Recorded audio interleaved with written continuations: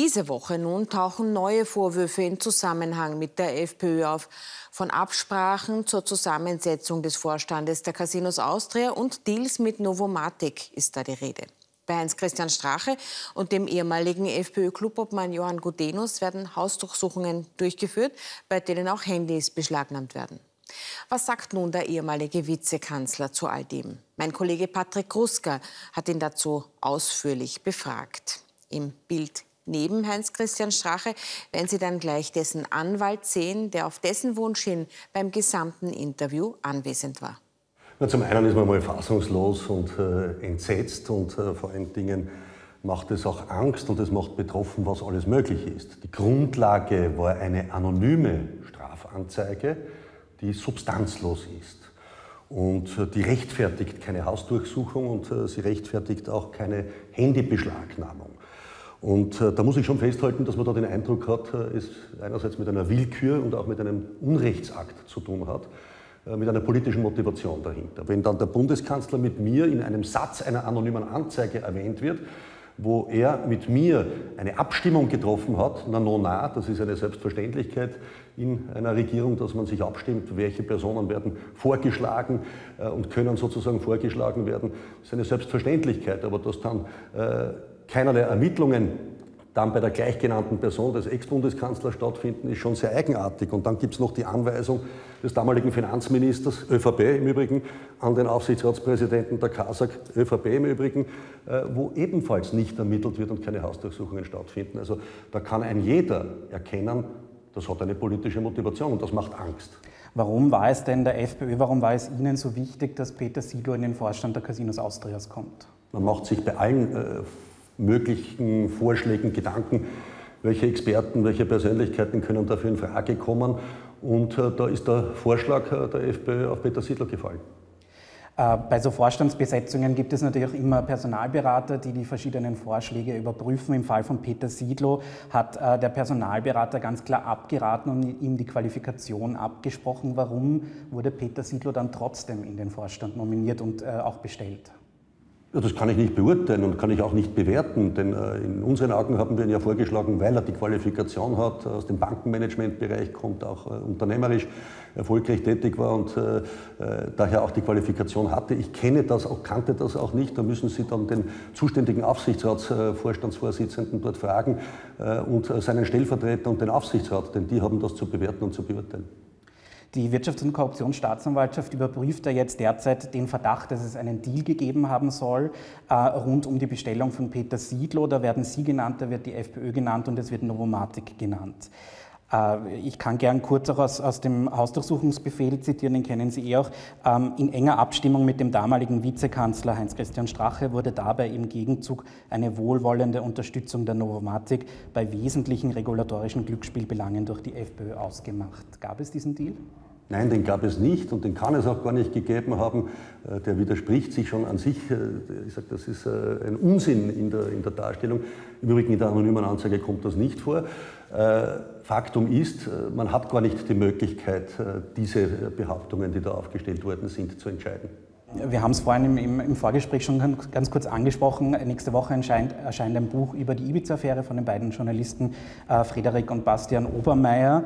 Ähm, ich habe Sie richtig verstanden, Sie haben das Ibiza-Video bisher nicht in der ganzen Länge von sieben Stunden gesehen.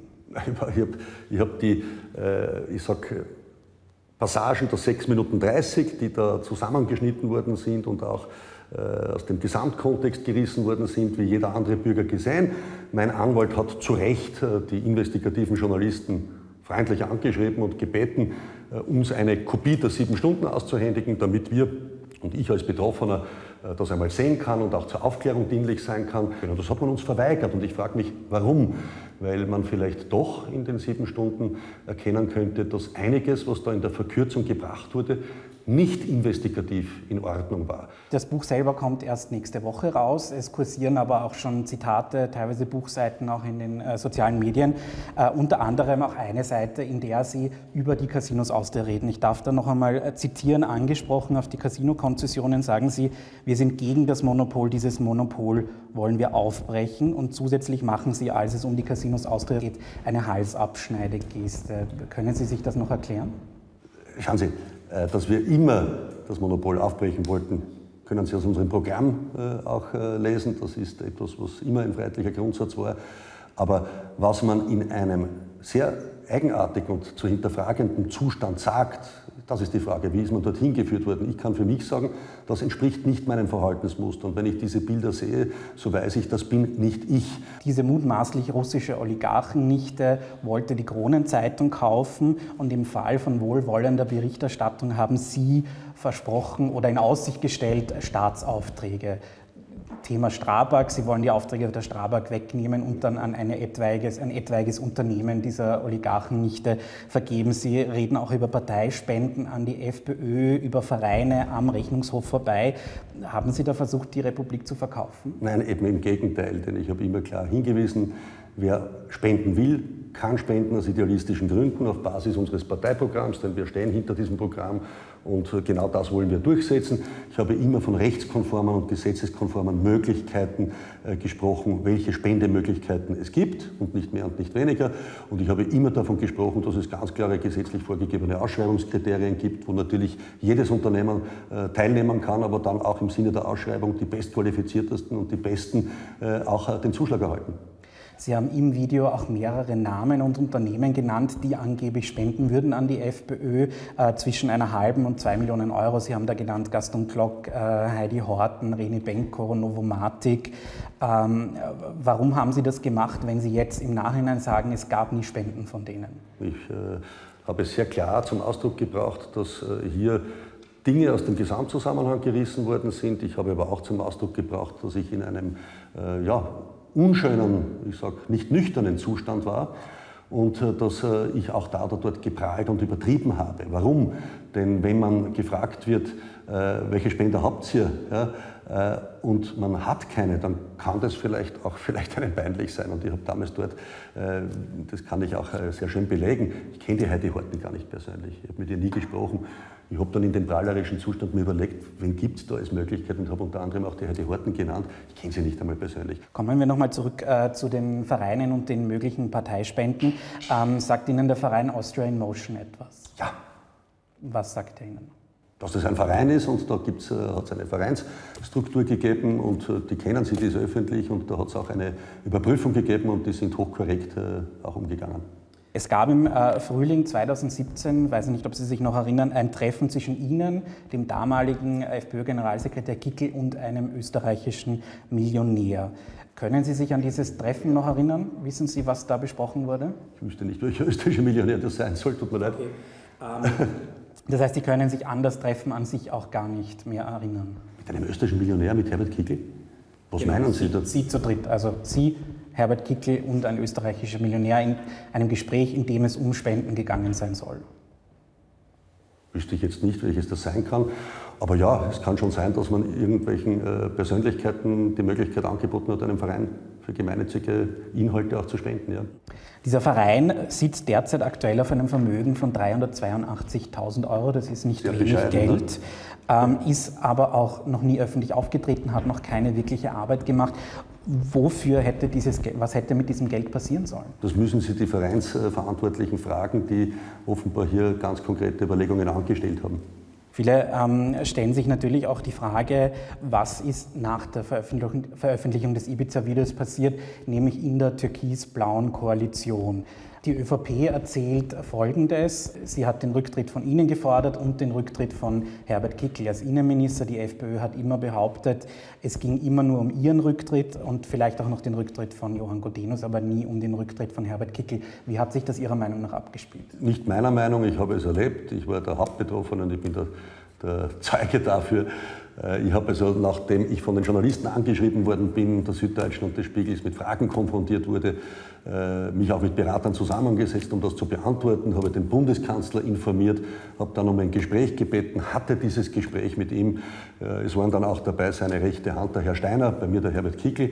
Und ich habe dort gesagt, ich muss mich entschuldigen für meine despektierlichen Äußerungen, auch ihm gegenüber, für die fürchterlichen Gerüchte. Und ich habe gesagt, ich stehe nicht an, zurückzutreten. Und äh, er hat mir dann daraufhin versprochen, wenn ich zurücktrete als Vizekanzler, aber auch alle Funktionen der Partei zurücklege, verspricht er mir, dass er diese Regierung fortsetzen wird. Aus Ihrer Warte aus hat Sie Sebastian Kurz angelogen, kann man das so sagen? Man kann es als Wortbruch bezeichnen und man kann sich die Frage stellen, äh, ist da zwischen meiner Rücktrittserklärung um 12, denn ich bin ja um dreiviertel zwölf von ihm weggegangen zu meiner Rücktrittserklärung, äh, was ist da passiert zwischen 12 Uhr und 13 Uhr?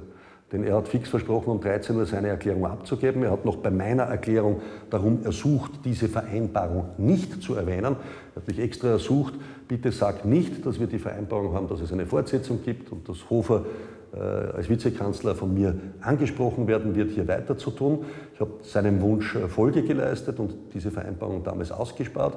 Und um 13 Uhr kam dann der Anruf, dass alles anders ist, dass er nicht äh, fortsetzen kann, die Erklärung nicht geben kann, sondern Herbert Kickel äh, zurücktreten muss. Sehen Sie Herbert Kickel als Innenminister oder als Minister in einer anderen Funktion als ähm, gesetzte Grundlage für eine Neuauflage von Türkisblau? Schauen Sie, ich bin aus Staatsressort zurückgetreten, um diese gut arbeitende Regierung auch weiter sicherzustellen. Und mit dem Wort des Sebastian Kurz, auf das habe ich mich verlassen. Es ist natürlich eine große Enttäuschung, dass man sich da nicht ans Wort gehalten hat. Äh, und dass danach dann so eine Finte passiert, die wird vielleicht längerfristig geplant worden sein. Zuerst mich, wenn man so will, entledigen und dann den Rücktritt des Innenministers äh, fordern, damit vielleicht nicht eine rasche und nachhaltige Aufklärung stattfinden kann. Aber um auf die Frage zurückzukommen, ist, ist Kickel als Minister eine Bedingung für Sie für eine Neuauflage von Türkis Blau? Also ich denke, dass es äh, sehr wohl wichtig ist für jede Regierung, dass man, wenn man in Regierungsverhandlungen geht, die entsprechende Kraft braucht, die entsprechenden Inhalte umsetzen muss und auch das Personalpaket äh, für Minister selbst entscheidet. Das können andere Parteien nicht entscheiden. Das sind ja Grundvoraussetzungen für eine vertrauensvolle und nachhaltige Zusammenarbeit, um für das Land was weiterzubringen. Das heißt, Sie sehen es dann doch als Vorbedingung? Ob Herbert Kickl Minister werden will, weiß ich nicht, aber man kann es ihm sicherlich nicht verweigern. Gehen wir vielleicht noch einmal kurz äh, zurück auf Ihre persönliche Zukunft. Nächstes Jahr sind in Wien Wahlen. Wollen Sie antreten? Also zum einen wissen Sie, dass ich mit meiner Rücktrittserklärung äh, sehr klar und deutlich gesagt habe, meine volle Konzentration gilt der Aufklärung dieses illegal und kriminell erstellten Videos. Das ist weiterhin mein Fokus. Darauf richten wir uns. Und selbstverständlich wird es dazu notwendig sein, die sieben Stunden des Videos auch zu sehen. Und ich frage mich daher, warum die Journalisten nicht bereit sind, da zur Aufklärung beizutragen. Das wird vielleicht einen Grund haben, den man einmal kritisch hinterfragen sollte. Aber wenn das Video jetzt bis zur Wienwahl in, in diesen sieben Stunden nicht veröffentlicht wird, wenn, wenn, äh, wenn die Ermittlungen wenn, weiterlaufen, genau, werden Sie nicht antreten? Wenn, wenn die Ermittlungsbehörden nicht interessiert sind an der Aufklärung, dann muss man das auch bewerten. Das heißt, Sie schließen aber nicht aus, in Wien anzutreten, auch wenn die Vorwürfe gerichtlich noch nicht geklärt sind oder die Ermittlungen noch nicht abgeschlossen sind? Na, selbstverständlich. Denn äh, was heißt das denn?